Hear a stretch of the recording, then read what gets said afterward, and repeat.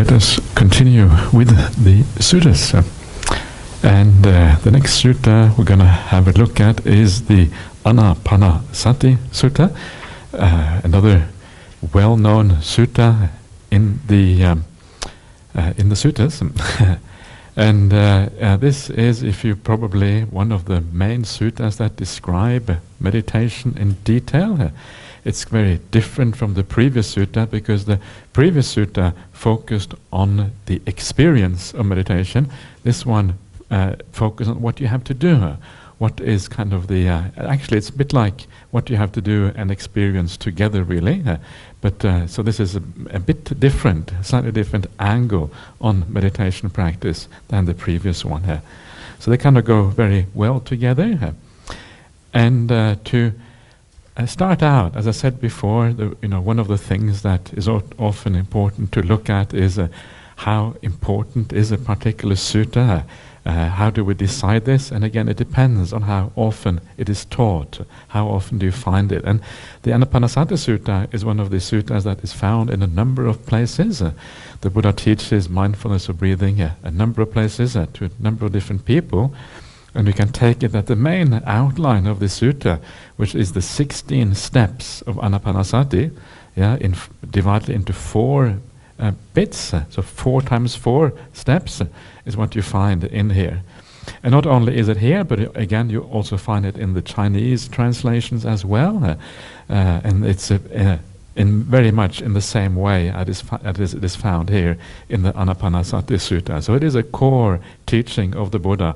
Uh, it's fairly, fairly clear here. And one of the nice things about this, we'll see this straight away as we start out, is that uh, just watching the breath uh, is a full course in meditation practice. It is all you actually have to do in meditation is watching the breath. Uh. And there's something very marvelous about that and wonderful about that because uh, the breath is obviously a very natural thing. Uh, yeah, it's something that is with us all the time. Uh, there's nothing mystical about it or strange about it. Uh, and this kind of fits in with the general idea of Buddhism being a very is a naturalistic religion based on natural experiences, natural phenomena. You don't have to do anything kind of very strange or weird to become uh, awakened in Buddhism. All you have to do is watch the breath. Uh, so it's very natural. And also it's very simple. Yeah, it's so easy. All you have to do is watch the breath. You don't need very much. You don't need any, you know, any kind of fancy equipment or anything like that. You don't need to be very intelligent or smart. You can be completely dumb dumb. You can still do meditation. Isn't that good news? It's good news, isn't it? Uh, so it's not an intellectual exercise or anything like that. Uh, any ordinary person in the world is capable of reaching awakening because it's so simple. Uh, so it is a very, it's kind of a lev- leveling as well, yeah. Sometimes we think of Buddhism as a very intellectual religion, and it can be. You can make it incredibly intellectual if you want to, but if you want to become enlightened, it's best not to make it too intellectual. Keep it simple, uh, because intellect tends to get away uh, of uh, uh, that simplicity which is required for just staying with the breath uh, and just being mindful. It's so simple. Uh, yeah, just being mindful. Nothing really much you need to do. And this is, I think this is a, so, it's such a wonderful thing that it's so easy, straight to the point, no messing around, all the way to awakening itself. Uh, so um, let us see. This is only an extract of the full sutta. It's a bit longer than this, uh, but these are the main elements that I want to focus on. Uh. So let us uh, just have start out and see what it has to say here. So it starts off with the word bhikkhus. And as I mentioned before, bhikkhus obviously means like monks. And as I mentioned earlier on here, I, when uh, a sutta starts like that with the monks, it doesn't necessarily mean that the Buddha is just talking to the monks. In fact, that is very unlikely. He's very likely to talk to all the other people who are also in the assembly.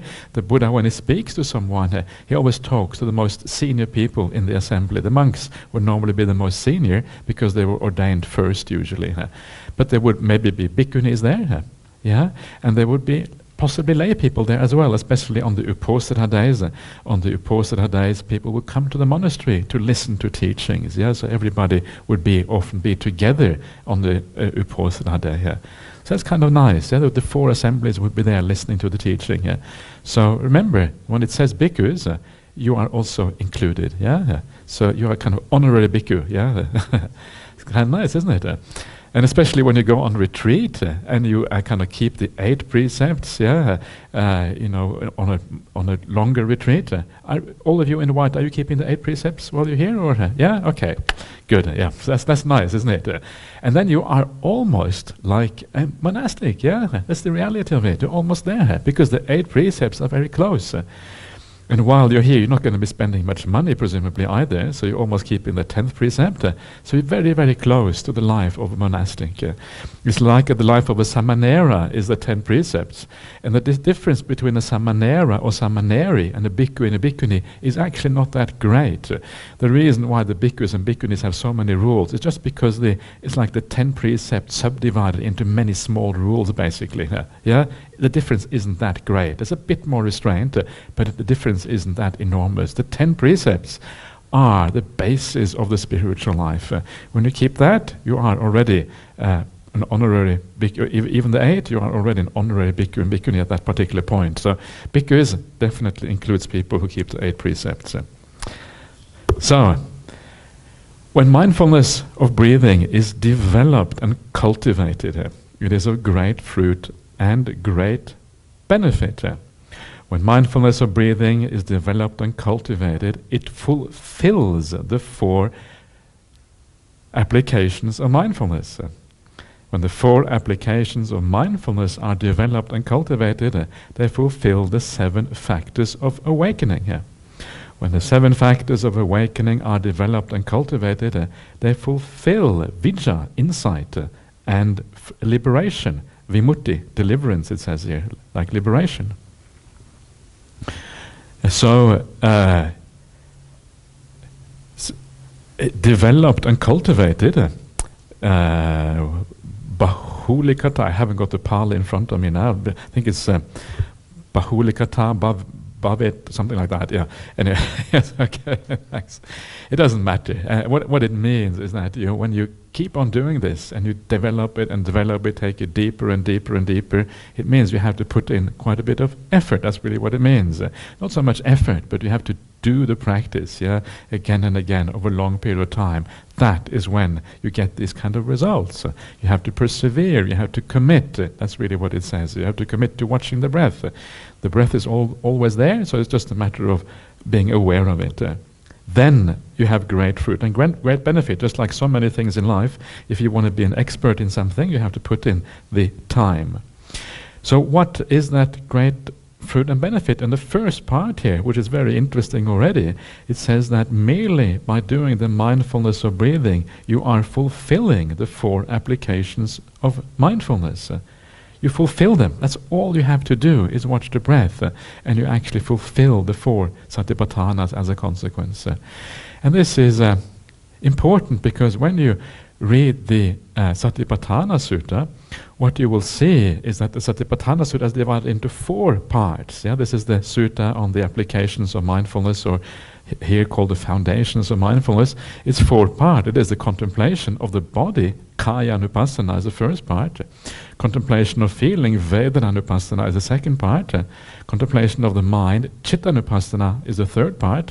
And contemplation of principles or contemplation of mental phenomena, whatever you want to call it.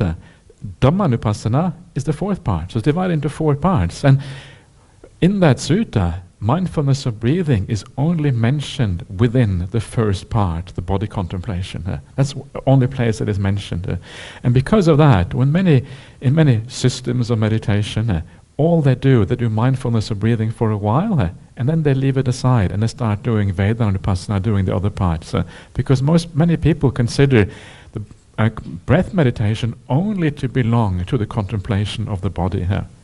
But that is. Um, uh, is misleading, and uh, it is interesting, you know, why even why why do we even find the breath meditation there in the Satipatthana Sutta in this way? Why it is there when it says here that it that it completes, fulfills everything? Here? How come in the Satipatthana Sutta it is found in only the first of the four? Yeah, here it says it completes everything. There is found only in the first. So what is going on? What is this discrepancy that we see here? And uh, this is uh, where you have to actually study sometimes the suttas in a fair bit of detail. And there are people who have done that who are far more scholarly than I am, who people who know all the various languages, uh, th- you know, that we find the Urdu suttas in Tibetan, ancient uh, or Middle Chinese or whatever it's called. And uh, you know uh, Sanskrit and Pali and Tibetan and uh, you know a dozen other languages, uh, and uh, and when they when you do comparison of these various versions of the suttas, uh, then what you find is that Anapanasati probably doesn't belong inside the Satipatthana Sutta at all. And originally, the Satipatthana Sutta may have emphasized only the contemplation of the 31 parts of the body.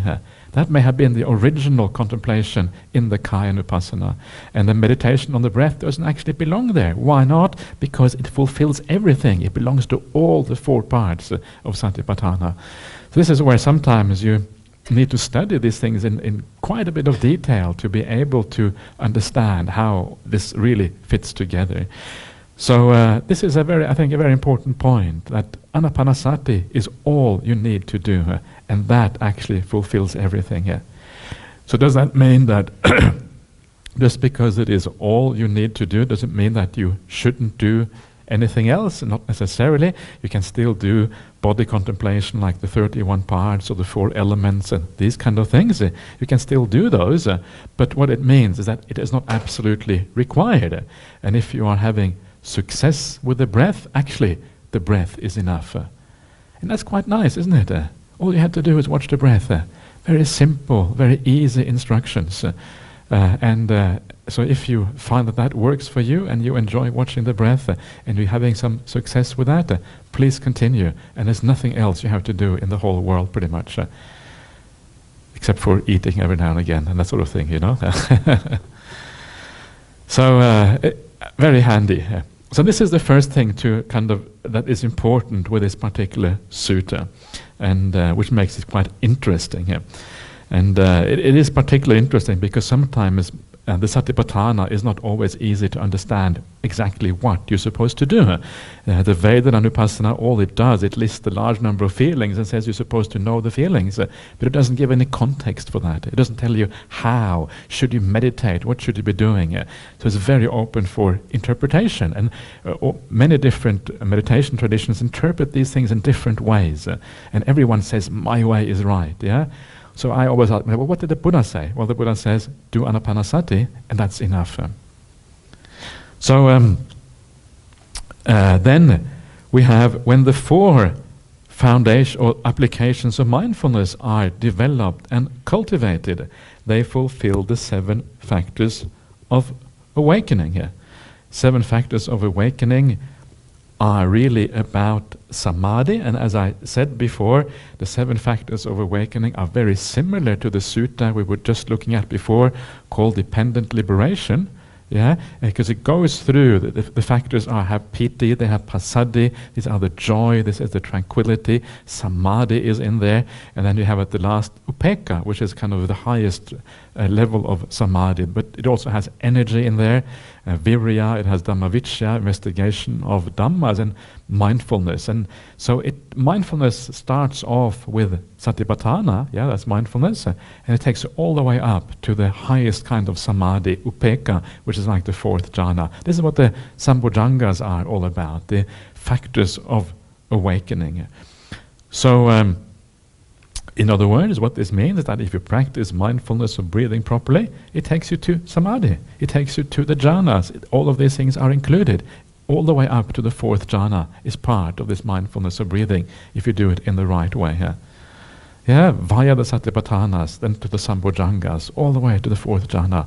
Just this humble breath, yeah, can take you all the way so far. Your breath is your friend. Yeah, if it can take you to the jhanas, must be your friend. If it can take you to that much bliss and stillness and peace, well, can't get a better friend than that. uh. And that's a very beautiful way of thinking about the breath. uh. When you think about your breath as your friend, a good friend who you are traveling on this path with. uh, Yeah, I didn't give, give much instructions during the last meditation because I just didn't feel like it, so I just didn't do it. I apologize, but that's the way sometimes it goes. so, uh, but uh, so, you know, that's one of those beautiful perceptions to give rise to while you're meditating. Think of your breath, breath as your friend, uh, this beautiful friend that you're going along with on this wonderful journey into meditation practice, uh, with whom you can experience so much happiness, so much bliss, so much peace. Uh, the best friend in the world. Nothing gets better than that. Uh. and if you see your breath in that way, the breath starts to become very beautiful. Uh. and then when the breath becomes beautiful, everything happens, yeah, as a consequence. Uh. so um, this is the breath, taking you all the way to the bojjhangas and all that. Uh, and then the bojjhangas, because the bojjhangas include the deepest states of samadhi, they then lead also to liberation, vijja and uh, vimutti. Vijja being the insights. We talked about those briefly before, uh, uh, which includes awakening itself. Uh, it includes the recollection of the past lives and karma, understanding karma and all of that. And liberation, of course, liberation from the oppressions of the world, liberation from suffering, liberation from defilements, uh, and liberations from the rebirth, and all of that is included in the idea of liberation. Vijjavimutti is the end of the path. Uh, that is what we're all kind of aiming for ultimately here. And it is freedom, freedom from jail, freedom from being tied down, bound down to suffering, forced to suffer from life to life, uh, by the forces of the mind which we're trying to overcome. Huh? So that is the um, uh, just the context for the anapanasati. That's the promise. It's a pretty good promise for this simple thing, just breathing consciously, being aware of the breath. That's all we have to do, and all of that is what happens. And of course, a big part of meditation practice is to find out why it doesn't happen. Yeah, because we, even though it's pretty obvious, we know what mindfulness is, we know what the breath is, uh, still it doesn't happen straight away. Why not? Well, that is a very big part of what meditation practice is about, uh, to find out the obstacles. So, uh, then the Buddha says, and how, bhikkhus, bhikkhunis, uh, upasakas, upasikas, uh, is mindfulness of breathing developed and cultivated so that it is of great fruit and great benefit? Uh, yeah, so this is the discussion for how it is of great fruit and great benefit. So if you uh, if you uh, don't follow these steps, then it is likely it will not be of great fruit and great benefit. If you want it to be, if you want it to be of great fruit and great benefit, this is what you have to do. Here, a bhikkhu, a bhikkhuni, a upasaka, an upasika, gone to the forest, or to the root of a tree, or to an empty hut sits down, having folded their legs crosswise, set their body erect, and established a mindfulness in front of them. Ever mindful, they breathe in, mindful, they breathe out. So here you have the background, yeah, the, the basic instruction. And this is the instruction that comes before you really start the mindfulness of breathing. Yeah. And um, very often the instruction that comes before, which you have to, the things that you have to get right before you start, uh, that is often the most important part. Uh, because uh, mindfulness of breathing is largely an automatic process, like we saw before. Yeah, it happens more or less by itself once you get everything right. What we do before is actually the most important thing. Yeah? So the first thing you will notice here, it says that you have gone to the forest or to the root of a tree or to an empty hut.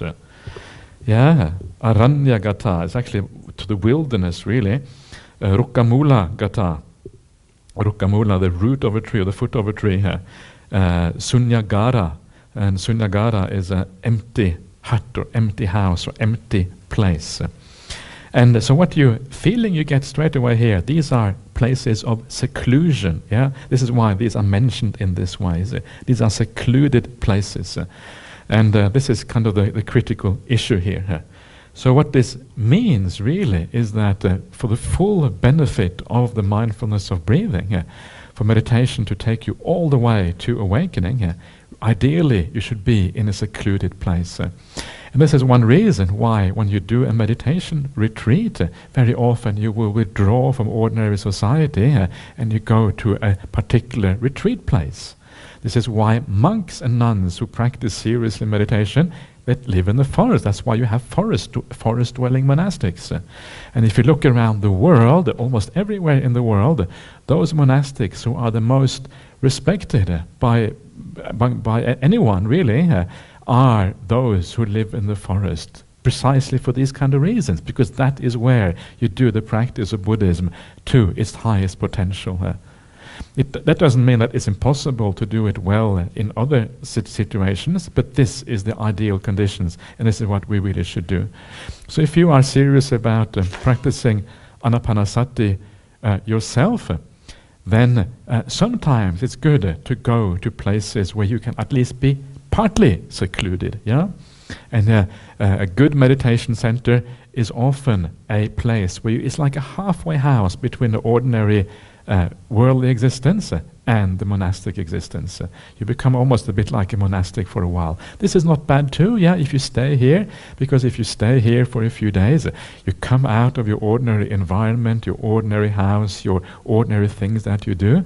This place reminds you probably more of Dhamma than uh, your house, yeah the house is, doesn't have that same kind of feeling of Dhamma as a Buddhist center, this is already quite good. Uh, already takes you out of your ordinary environment, uh, a little bit away from the, your habits, uh, and that makes it easier already to practice meditation properly and the path properly.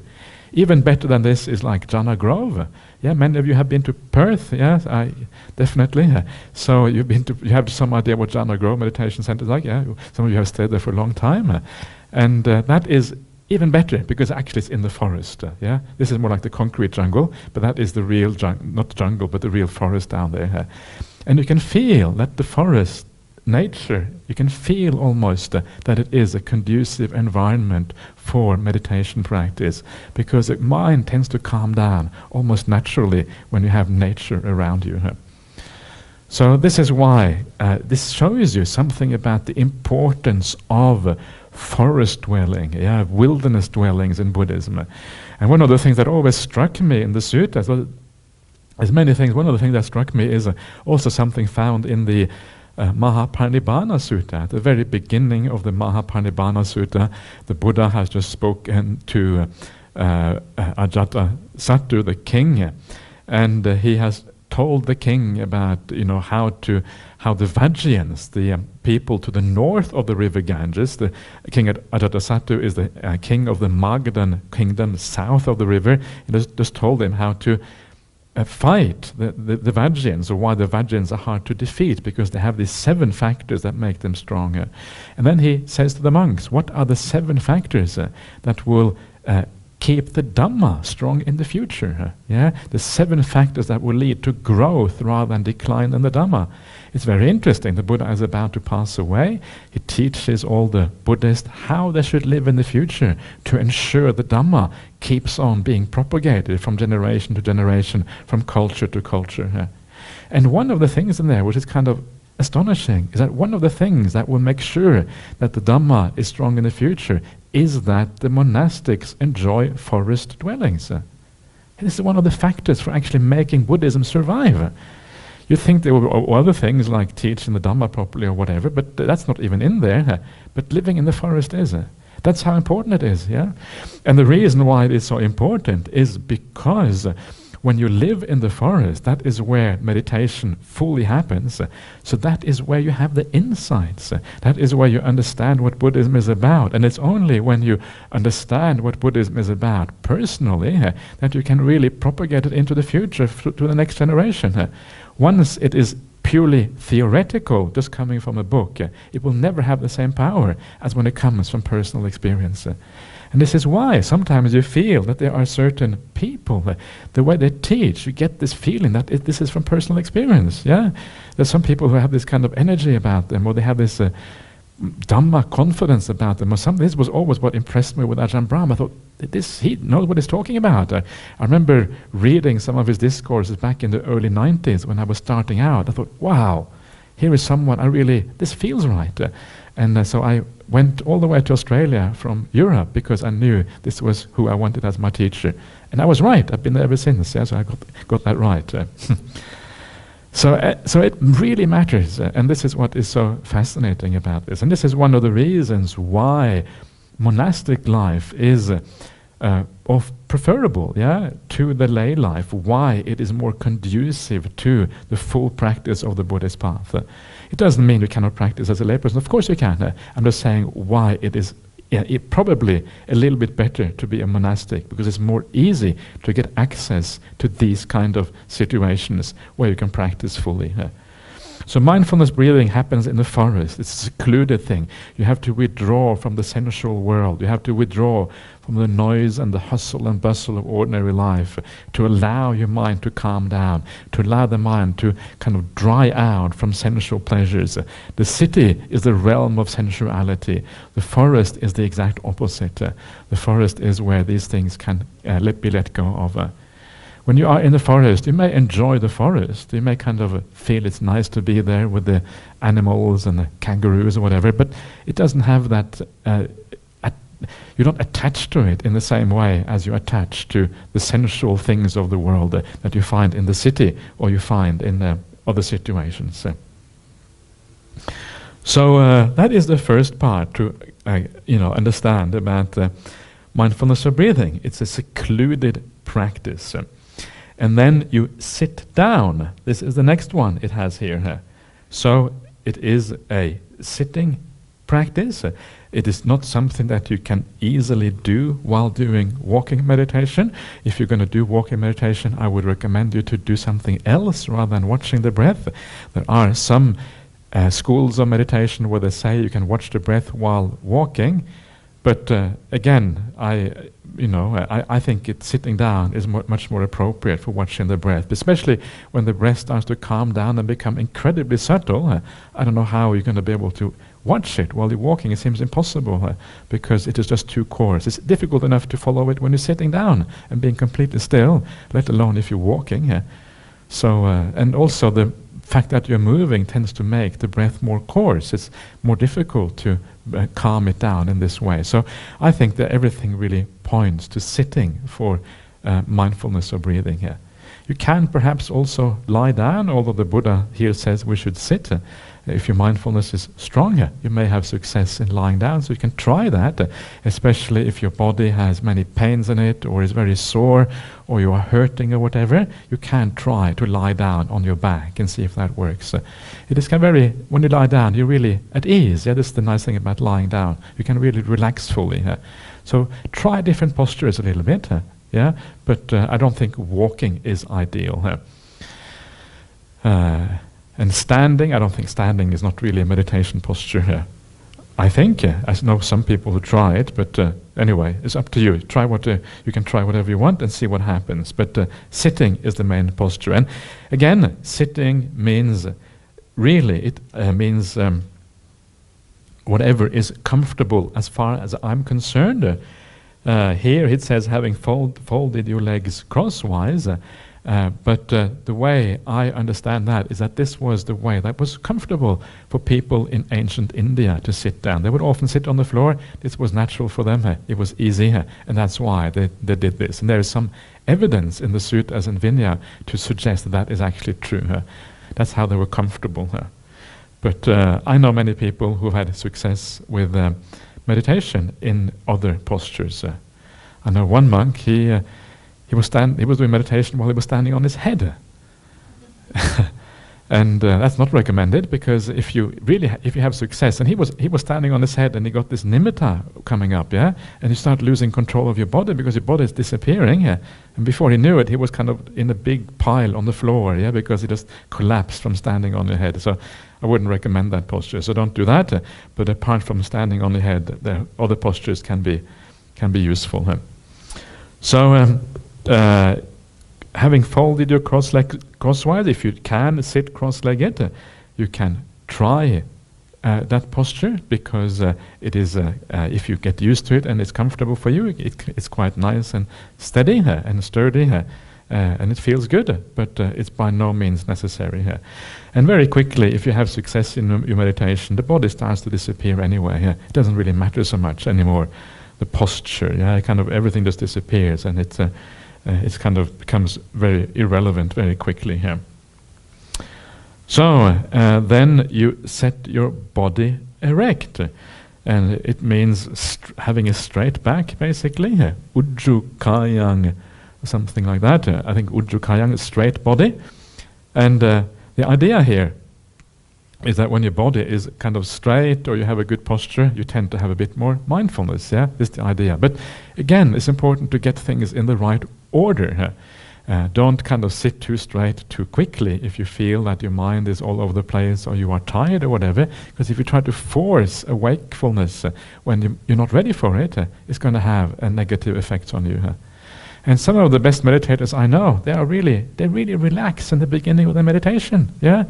Ajahn Brahm says, you know, he's been working hard, he's tired. He leans back against the wall. No straightness at all, just lean back, yeah? Lean back. Yeah? Wait for the mindfulness to come back. Wait for the body and the mind to relax. And then, when everything calms down and the energy returns, and if you have lived your life well, the energy does come back quite quickly because it is there just under the surface. It's just the tiredness is kind of clouding the, uh, the good energy and you just relax. The good energy comes up again, and then uh, you find that your body almost wants to sit straight. Uh, it wants to sit straight because when you have energy, it's kind of natural. Uh, yeah, you don't need to relax anymore. Uh. so uh, uh, do these things in the in the right order. Know what you have to do. Another one of monks I know, he always nods at the beginning of his meditation. It's good to know, yeah always nods at the beginning of his meditation. So, and then he nods, yeah, 15 minutes or whatever, bang, he kind of gets clarity, and then he meditates, and then he's very, very clear and has very good meditation afterwards. Uh, so all of these things are okay. There's nothing wrong with nodding a bit at the beginning, nothing wrong with dozing off a little bit. Uh, yeah, yeah, and it's just the nature of the mind that it gets tired, uh, and sometimes you need to just uh, relax the mind, allow it to do what is natural to it. We tend to force things too much, force our minds too much, and that is actually more of a problem. Uh, but allowing things to be, uh, yeah, everything is okay. There's nothing wrong with being in a certain way. No need to judge yourself. Accept yourself for who you are. Uh, and the more you accept yourself for who you are, the easier the meditation process becomes. So, uh, and then we have the last part here, the last bit of uh, advice before you actually start the mindfulness of breathing. And this is what I was uh, referring to before, having established uh, yeah, mindfulness in front of you. Uh, uh, Satim parimukham upatthapetva. And uh, so this again, this is what I mean by having, yeah, so you have already done it. Having folded the legs crosswise, having set the body erect, having established mindfulness in front of him. And so this has to be done before you can even start watching the breath. This is a prior thing. Uh, and this is why it is so important to take all that time uh, where all you do is just relax, you allow things to be, uh, you allow your mind to be in its natural state, uh, and then mindfulness gradually comes back and it comes back into place again. Uh. so, how do we establish mindfulness? And of course, uh, again, there is a uh, two ways of looking at this. One, uh, one way is just uh, what you have to do in the here and now while you're here sitting on your everyday in your meditation. Uh, and then very often what you can do now is only so much. Uh, and that is basically just relaxing, allowing the mind to be, and allowing the mindfulness to, uh, to come pretty much by itself. so it is very much a natural process. Don't do too much. What you can do, uh, and that is what I would call just kind of nudging the mind a little bit. Uh, don't do very much, but a little bit of nudging is okay. Very gentle reminder to yourself to kind of guide your mind in the right direction. Uh, and that little bit of nudging is often just uh, kind of perceiving things in a good way, uh, uh, reminding yourself of something positive, something that makes you feel more at ease, more relaxed. yeah, where the Buddha talks about the Buddhanussattis and all of these things, the recollection of the Buddha, whatever. These little things that kind of make you enjoy the moment more. Uh, yeah, enjoy the company here, enjoy the place, uh, enjoy the moment. Think of something uh, positive in your spiritual life in the past that lifted you up. Little things like that, a very gentle nudging of the mind. or if you feel defilements coming up in the mind, then you gently nudge the mind in the right direction so that the upset and the anger doesn't really take hold. If it takes hold, it's very hard to get rid of it again afterwards. Uh, so you forgive a little bit, or you look at the positive side of the other person. Yeah, very gently uh, if that happens, uh, and then uh, you can overcome those problems very quickly.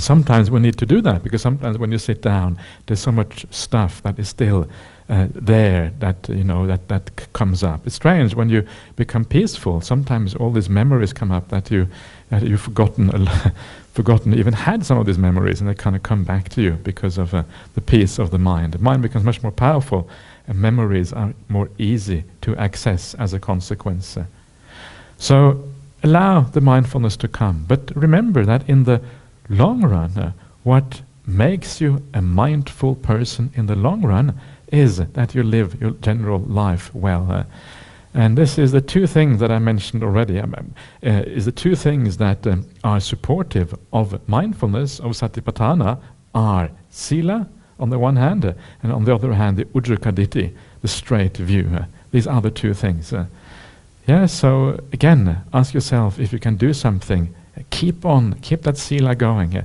The longer you keep it going, the more you do it, the more years you practice it, the more fully it is embedded in you, the more it is part of your character, who you are as a person, the more powerful and beneficial it is going to be in the meditation practice.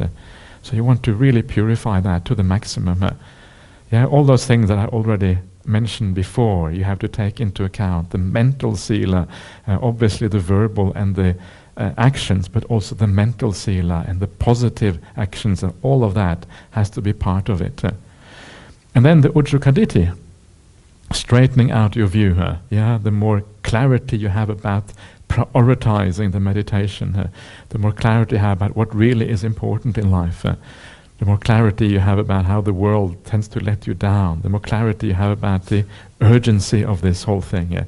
All of these things will be beneficial uh, for giving rise to mindfulness. Uh, so that is what we mean by establishing mindfulness. It's a long-term thing and it's a short-term thing that happens now. Both of those have to fall into place. Uh, so please don't start uh, watching the breath uh, until you have established that mindfulness. Uh, once it is established, that is the right time to kind of uh, get going with the breath meditation. And you will have to learn yourself a little bit what enough mindfulness means. Yeah, There's not something that you can actually uh, kind of explain so much uh, because th- there are so many degrees of mindfulness, so many degrees of clarity. But what it means really is that you are not your mind is not super busy, uh, running all over the place. It's reasonably peaceful. There are probably still some thoughts going through the mind, but not many and you have a degree of clarity. Uh, you're not very tired or falling asleep or anything like that. Uh, so you have a degree of clarity and not too much thinking. Uh, that is when mindfulness starts to get established. You have a feeling of presence in this room. You have a feeling that you, uh, you know, you are you are here and you're not kind of all over the place. And then for the rest of it, you have to kind of sort of feel out for yourself what is the right time, and then mindfulness of breathing starts. And uh, this is what happens. One of the actually things that is said about mindfulness of breathing in the sutras elsewhere is that it is said to be the thing that calms down the thinking mind. Yeah, so it means it cannot be that you are completely without thinking before you start, because the purpose of mindfulness of breathing is actually to calm you down. But there isn't much thinking left, and then the last of the thinking is then calmed down by anapanasati. So, what happens then? And it says here, ever mindful. You breathe in. Mindful, you breathe out. Uh, ever mindful. Um, I would say only mindful. You breathe in. Only mindful, you breathe out. And um, this is a translation issue. So now I can get into how to translate Pali. And this little word, ever, uh, in English, it is a translation of the word eva in Pali. It's got no relation to ever at all, even though it sounds a little bit similar. But eva, E-V-A in Pali, ever in English. And the problem with this little word eva in Pali, it can mean different things depending on the context. It can be an intensifier, it means like ever, always, or it can mean, mean something like only or just. So what does it mean here? Does it mean ever? Is it an intensifier or is it more like dust only, only mindful?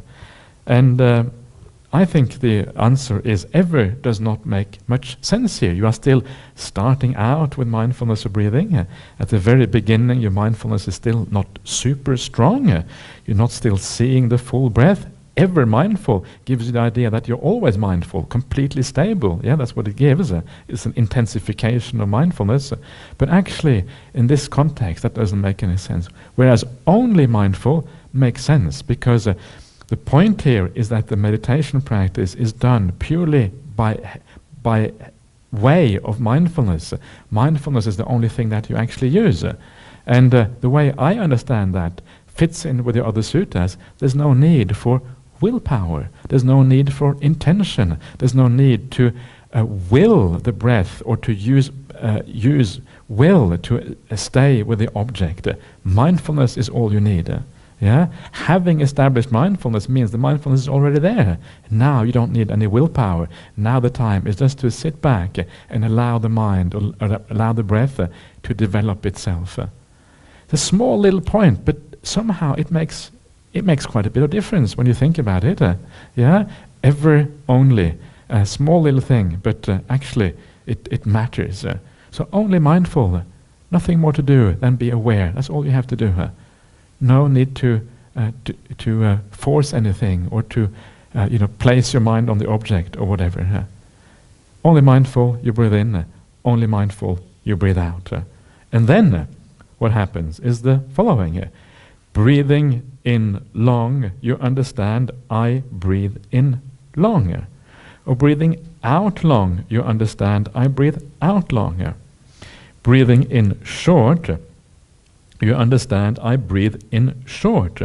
Or breathing out short, you understand I breathe out short. Let's just stop there. So uh, you understand, yeah. Uh, you, you don't do anything. I've already the, the word only means there's not no doing here. There's no force required. There's only awareness. So when it says breathing in long, you understand it is not that you make the breath long. This is a very a common misunderstanding of, I think, the Anapanasati Sutta, that you make the breath long, and then because you make it long, then it becomes long, and then you breathe accordingly. But that is not really the point. The point is just that uh, the breath tends to be long when you start out. If you are mindful, you are relaxed, you are at ease, the breath tends to be quite long and relaxed and easy. Yeah, so you are understand, you know the breath as it is. This is the point here. Is knowing the breath, is not controlling it. and uh, it is quite common for people to think they need to control the breath. But I think if you do that, uh, you tend to destroy the whole exercise. Uh, everything becomes contrived, becomes forced, uh, becomes unpleasant very quickly, uh, and then uh, it doesn't really work how it's supposed to be. Uh. so you have to be patient here. You have to just allow things to be. Stand back. You understand. Pajanati is the Pali. You know the breath is long. You breathe in, you breathe out. and as you develop this, as the as you keep on practicing with the the long breath, as you calm down, the breath tends to become shorter. Yeah, this is quite a common experience. It doesn't matter if that's not what happens to you, but it's quite a common experience that the breath becomes shorter after a while. Yeah, so it's long because you relax, but because you are becoming even more peaceful after a while, the breath tends to shorten as you as you move on. This, is, this may be what is meant here. Or it just means that whatever length the breath is, you are aware if it's short or you are aware of it's long. It just means you have awareness of the breath. Really, that's what it means. Uh, and then, once you understand that, and the next one says, you train thus. I shall breathe in, experiencing the whole body of the breath. You train thus, I shall breathe out, experiencing the whole body of the breath. And uh, uh, what is happening here is that uh, now you have uh, experiencing the whole body of the breath. Uh, what, so this means now that previously you had only maybe uh, you didn't experience the breath fully. Now your attention expands out to take in the whole breath. yeah, everything from the very beginning to the very end. the whole breath is included in this. So it means you're becoming more peaceful, you're becoming more alert, uh, your mindfulness is improving, and that's why you're able to see more of what is going on. Uh, before, maybe you only had enough mindfulness to notice whether the breath was long or short. Uh, now you have the ability to see more of the breath. Uh, yeah, this is why the whole body of the breath, uh, the breath is con- here called a body in this particular context. Uh. Now, I should perhaps point out one thing I didn't point out is uh, uh, this idea of uh, of mindfulness. Where is uh, your mindfulness in this particular context? Uh, this is one of those very controversial topics, yeah, or maybe not very controversial, but a little bit controversial, and people will argue about this in scholarly papers. It's here, no, it's there, no, it's not this way, it's that way, or whatever, whatever it is that they do. Uh, and um, but uh, uh, the I find the way Ajahn Brahm talks about it very useful, and he just says parimukham, the breath. You don't need to locate it anywhere in particular. It is breath meditation, not body meditation. So all you have to do is know whether the breath is long or short. You don't actually need to fixate it anywhere in the body. And if you think about it, breathing in, breathing out, uh, yeah, you, you, you know very easily whether you're breathing in, whether you're breathing out. But, but it doesn't have to have any relationship to the body anywhere. It's just a, an awareness, uh, yeah? So you just know that. Uh, and the advantage of that is that uh, when you start your breath meditation, uh, if you focus too narrowly, uh, it can become too tense very quickly. So instead of focusing narrowly in one particular point of the body, uh, you have a more broader awareness. Breathing in, uh, breathing out. Uh, that's, that's all you really need to do. and uh, uh, this is the way Ajahn Brahm has always taught, and he is uh, kind of he he has had lots of success with breath meditation. So if it works for him, then I think it uh, it may very well be what is intended right here. But again, it doesn't matter how you do it. Uh, again, if you find that you want to do the breath meditation by focusing on a particular place, please do so. If it works for you, do whatever works for you. Uh, don't be too kind of tied down to any particular technique. Uh, this is not about being dogmatic. If you don't do it this way, no chance of getting nibbana. It's not, it's not quite like that. Yeah, there are different ways of doing the same thing. Yeah. So that is the parimukham. So uh, just uh, go with the flow. That's what I think is the best way. And then you expand your awareness so you see the whole body of the breath. Uh, one of the things you will perhaps have noticed here is that in the Pali, in this text, it says, first of all, you understand, but now it says you train. So what, is that, what does that mean? How come there is a difference in verb there? Now, in the in other versions of the sutta, there is no difference in verb, but there is in the Pali. So, what is going on? And uh, I, I, think the answer is that uh, when you start out, uh, you're already mindful, you already have the ability to be aware of the breath, so all you need to do is understand. But to be able to see the whole breath uh, takes a while, it takes a bit of training, that's what it's called here. But training doesn't mean that you have to do anything through willpower, you have to force anything into existence. It just means it takes a bit of time. You have to allow things to calm down. That's the training here. Yeah, so you allow things to calm down, to become peaceful, uh, and that is the training. And then you see more. Uh, it just means it doesn't happen automatically, immediately, just because you have mindfulness. Uh. And then we have this uh, controversial thing here. You may have noticed that it says of the breath in parentheses. That's a bit of a worry, isn't it? It says in parentheses.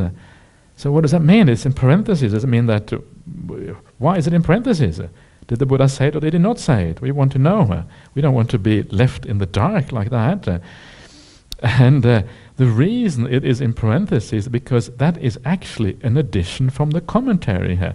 The sutta just says you breathe in, experiencing the whole body, and it's kind of leaving it open what that means.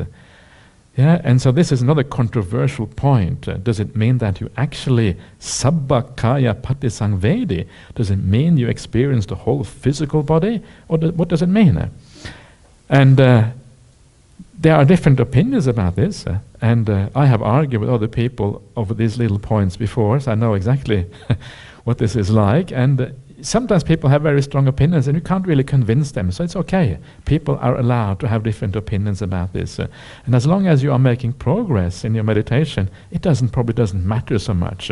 If you become peaceful and you come back to the breath and things go in the right direction, it's not so important. But having said that, uh, um, I think personally the, the evidence points to it being a reference to the breath. First of all, because we are doing breath meditation, it is just another step in the breath meditation, yeah? So, and the breath is becoming more and more peaceful. It doesn't seem suddenly out of the 16 steps, one step should certainly have nothing to do with the breath, whereas everything else does. It doesn't seem uh, meaningful to me. Uh, and the other thing is that later on in the sutta, the breath is called a body. Yeah, it's called one body among the bodies. It's specifically called a body.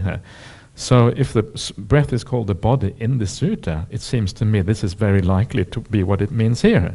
In fact, in the very next step, uh, we come just straight, come to straight now, uh, the breath is called kaya sankhara, the bodily movement or the bodily activity. Uh, yeah, so again, related to the body, the activity of the body, or the active part of the body, or something like that. Uh.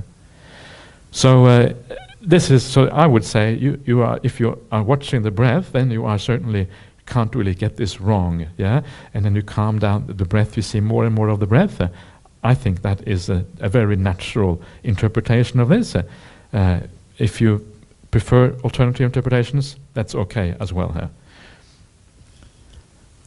So, then we come to the last of these four steps. The last one is he trains thus I shall breathe in, tranquilizing the bodily formation. He trains thus I shall breathe out, tranquilizing the bodily formation. And um, it's pretty meaningless, isn't it? Uh, tranquilizing the bodily formation. It doesn't mean very much. And this is one of the things about translation is that uh, translations, in my opinion, should be meaningful. Uh, they shouldn't be correct in a sort of technical sense. They should be meaningful because these are real instructions for very important spiritual practice, and unless they are meaningful, they stop you from actually getting somewhere. So here, it would be much better to translate as something like, I breathe in, tranquilizing the bodily activity. Then you will have much more understanding for what is going on here. And sankhara can very easily mean activity, uh, because uh, it means uh, that's what it means very often in the suttas. It is the ac- active part of the mind, the intention, yeah, the things that we do. sankhara, from the word karoti, which quite literally means to act or to do. Yeah. So doing together, putting together activity. Yeah. And uh, that, as I mentioned before, it is defined as the breath, actually elsewhere in the sutta. So kaya sankhara means the breath, and it is defined as the breath in places like the fourth jhana, where the breath disappears completely and stops once and for all. Uh, and uh, of course, you don't die, but the breath just disappears. Uh, so here you're training, you're tranquilizing the bodily formation. And again, the training doesn't mean that you are actively tranquilizing it. Uh, it just means that you are aware. And as you are aware, because you're not, uh, you're not uh, doing anything, you're not uh, um, interrupting the sequence or the practice, uh, because of that, the tranquilization is automatic. It just happens. You're becoming peaceful all by yourself, just by being aware, just by being here. Tranquility happens. It tranquilizes down, becoming more and more peaceful. Sometimes until the breath almost disappear, disappears completely. Yeah, yeah. People say, "Where's my breath?" I, and people get afraid. They think they're going to die or something because the breath is disappearing. But uh, usually the body knows how to look after itself, so you don't have to worry so much. You're able to sleep for many hours and you're still uh, alive when you come out of the sleep. So usually you're okay. You don't have to worry too much. So if you don't see your breath, uh, relax. Yeah? No need to worry too much. Uh. but this is what can happen already at this kind of stage uh, when the breath becomes very, very subtle uh, and your mindfulness is not quite able to keep up with the subtlety of the breath. And it's interesting because already at this point, uh, even if you can do just this much, already it is quite delightful.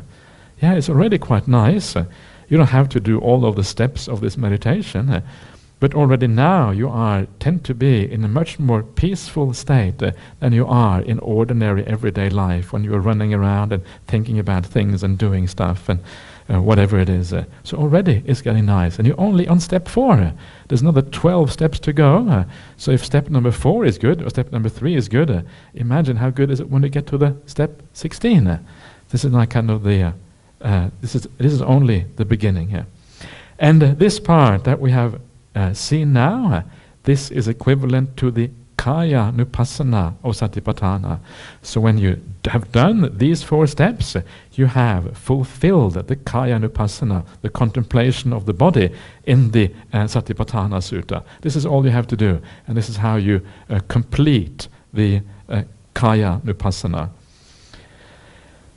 So, uh, and this is actually said later on in the sutta, although I have not included it here. I've left, left all that part of it out. Uh, so there you are. That is the uh, body contemplation uh, and the beginning of the Anapanasati Sutta. And um, uh, I will stop there because that is uh, an hour has uh, uh, disappeared already. disappears very fast. And so please keep on enjoying yourself and have a nice evening. And for those of you who going home, then uh, come back. We'll see you again tomorrow morning. uh, and for the rest of you, please enjoy your meditation practice. Uh, okay, maybe, yeah, let's maybe do a quick, let, us bow down to the Buddha, everyone together. That's a nice thing to do. uh, and then we can kind of uh, leave afterwards. uh.